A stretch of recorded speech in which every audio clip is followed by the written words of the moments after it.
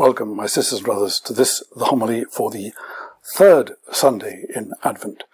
The Sunday sometimes known as Gaudete Sunday, from the uh, old introit to the Mass before it was put into uh, English, before the Paul VI version was given to us, uh, in which the antiphon or the introit was Gaudete, rejoice in the Lord always. Again, I say rejoice, a quote from Philippians, um, which uh, is not actually in our reading this week. So this is the Sunday when, as we get close to Advent, there's the beginning of the rejoicing coming forth. The rejoicing cannot contain itself. That, I think, is the sense of uh, uh, of the Gaudete Sunday. Let's continue with our path towards discernment with Matthew. You remember, in each of the previous two Sundays, I've been bringing out how the possibility of coming to learn and distinguish what's going on is at the back, if you like, of the readings we have and is part of Matthew's way of opening us up to reality. And last Sunday we had John the Baptist preaching in which he announced the, the wrath that was to come, uh, called people brood of vipers and so forth. Um, and there was a mixture of the Holy Spirit and fire as he announced that one after him was coming, um, whose sandals he was not worthy to carry.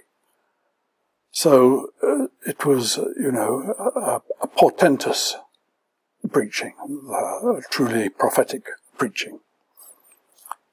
And now we come to the really very difficult moment of discernment as to what's going on.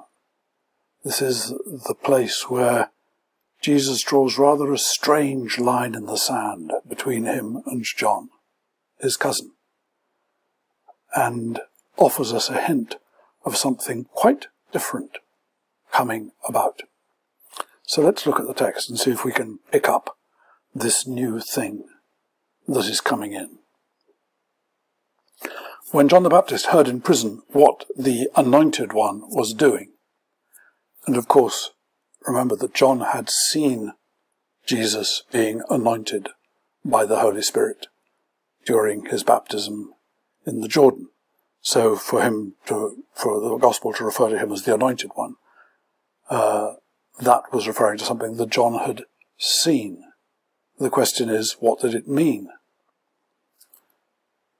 So John heard in prison what the anointed one was doing. He sent word by his disciples and said to him, and I prefer the old, the glory of the old language for this, art thou the one who is to come, or wait we for another? There's a certain elegance in the, uh, in the old language there. Um,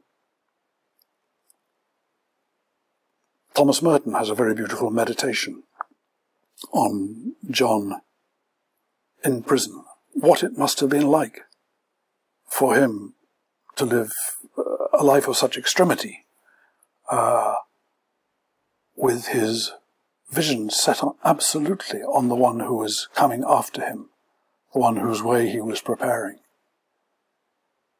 And yet beginning to doubt from what he had heard of what Jesus was doing that Jesus was the real thing.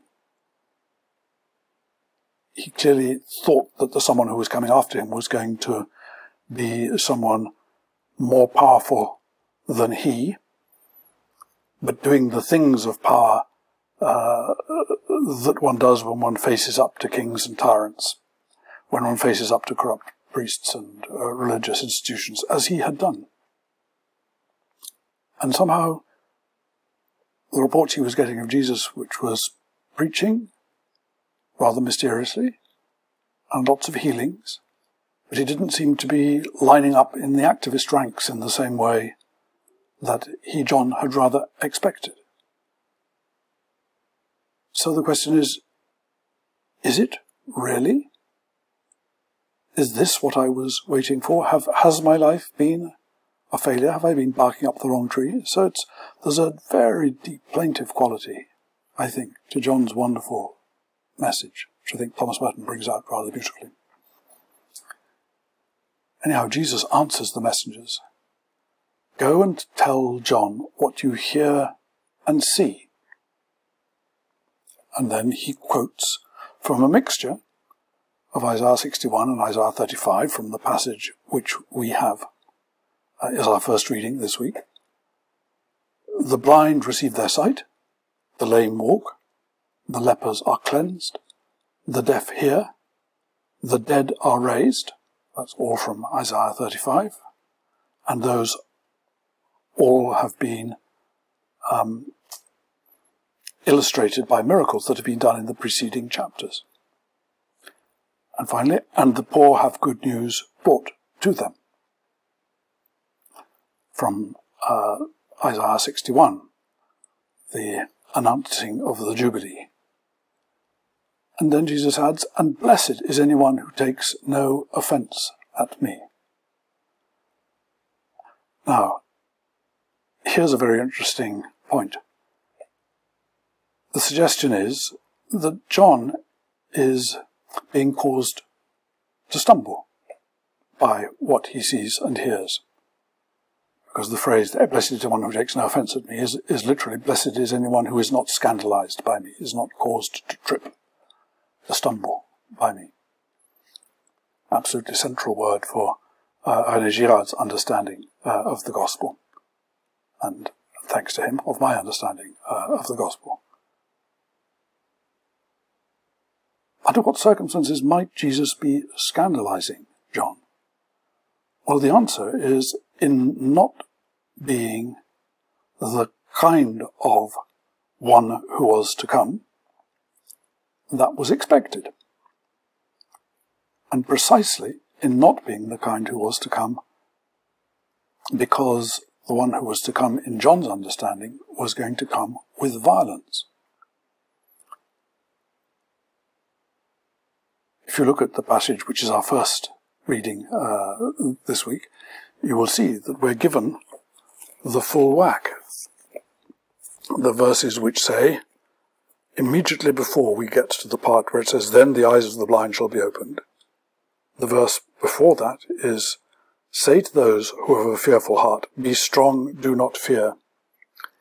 Here is your God, he will come with vengeance, with terrible recompense, he will come and save you.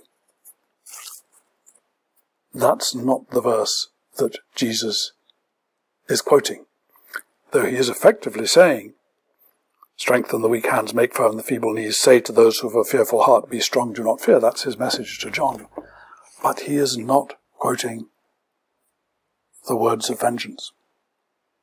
And he understands that that scandalizes people.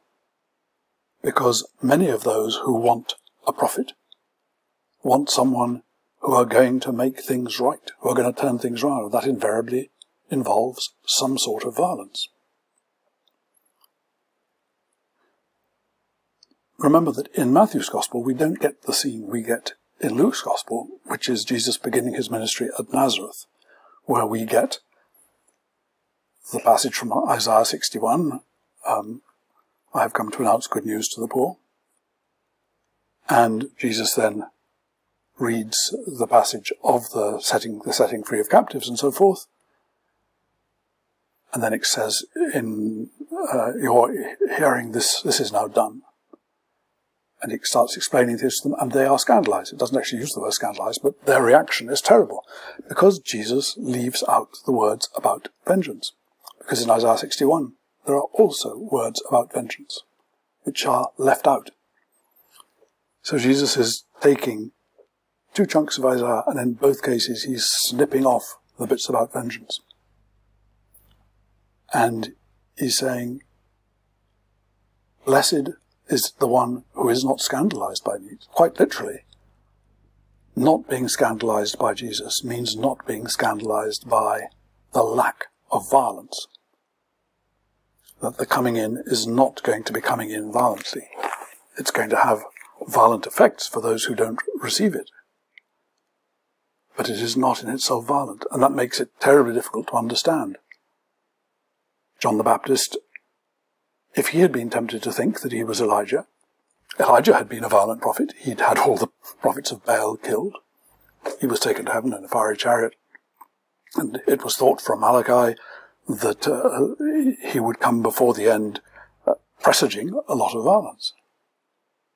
So if that is who John the Baptist is, and Jesus hints that he is indeed that, it's a very different sort of Elijah than the one we actually know, which is why Jesus later says, and that's, this is not unfortunately in today's um, uh, gospel, uh, but he says, for all the law, all the prophets and the law prophesied until John came, and if you're willing to accept it, he is Elijah who is to come, if you're willing to accept it. In other words, the notion of an Elijah who is in prison and about to be executed, rather than the one who has triumphantly seen off the bastards, uh, that's not the image of Elijah that anybody expected.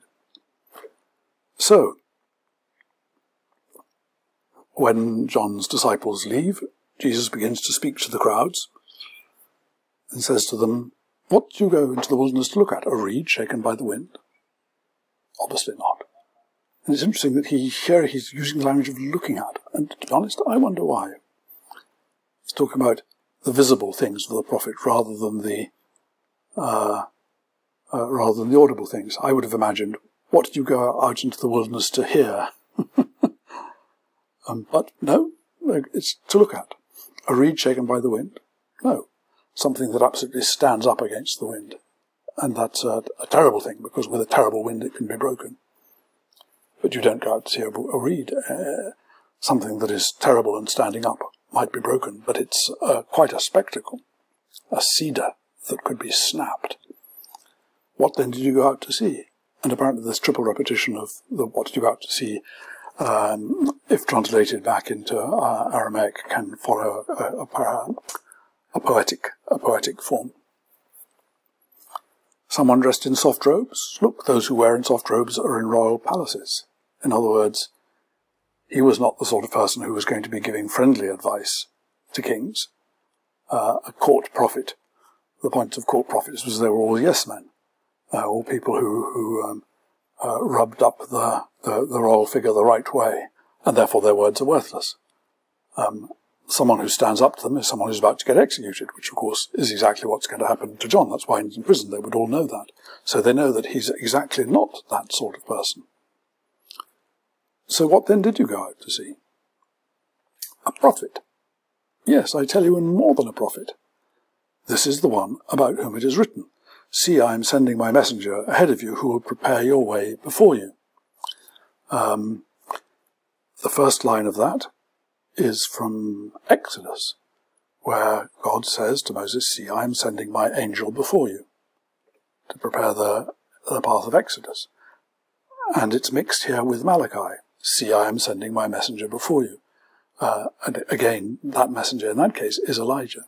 So he's saying this is more than a, a prophet. This isn't. This is the angel. This is the angel who is to come.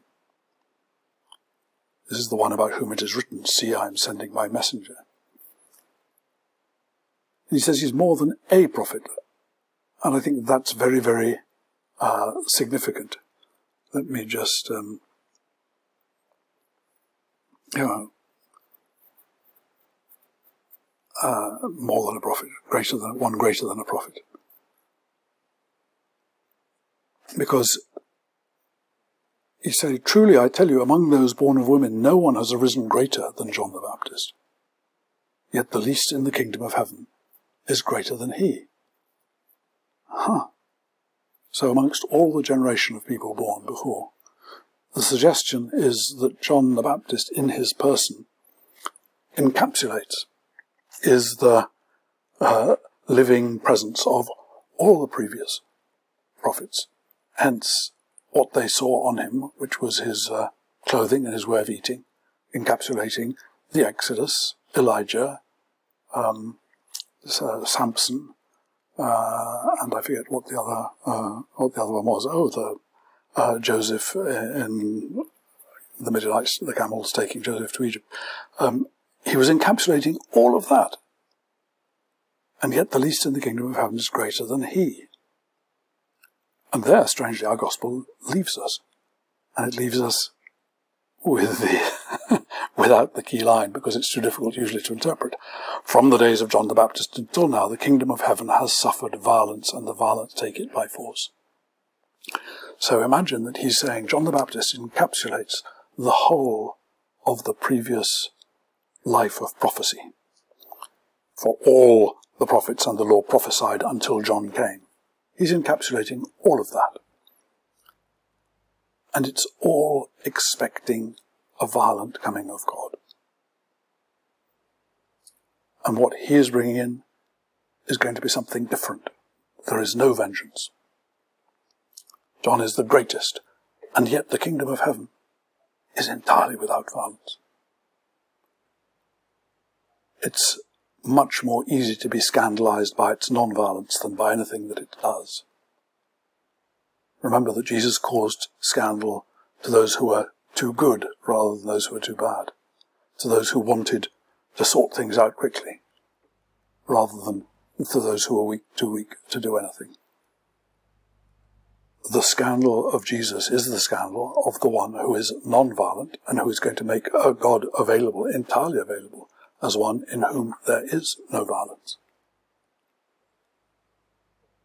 And now we're on the threshold of beginning to sense what strange scandal, potential scandal, is coming into our midst as the apocalyptic noise begins to diminish and our Saviour's birth draws nearer.